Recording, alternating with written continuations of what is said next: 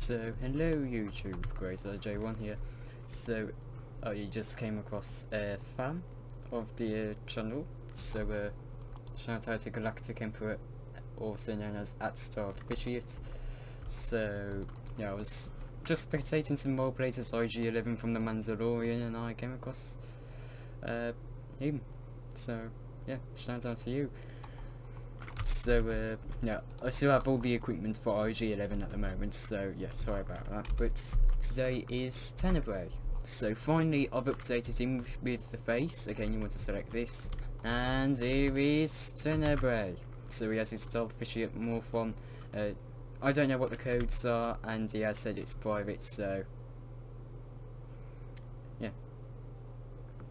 So, yeah, now Darfishy, not Darfishy, Tenebrae uh, has his, has a new face. An updated one. Uh, saying updated one. Originally you required the Sith Pureblood morph, but no long it no longer does. So, uh, yeah. So, that should be it for today's video, and I'll see you all uh, next time. Now, I will put a... Uh, now, I did find two faces while I was making uh, Tenebrae, so I'll... Uh, while I was searching, while I was browsing uh, the... Uh, what's it called again? Um, Creator Marketplace for Tenebrae faces.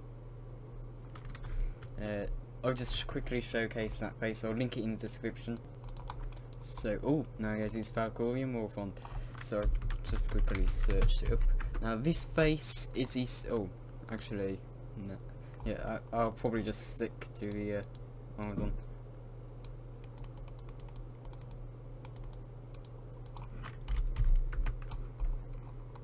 So, yeah. So I suppose that's it for today. Thank you all for watching and I'll uh, see you all next time. So, uh, yeah, we'll give him a chance to say bye if he wants to.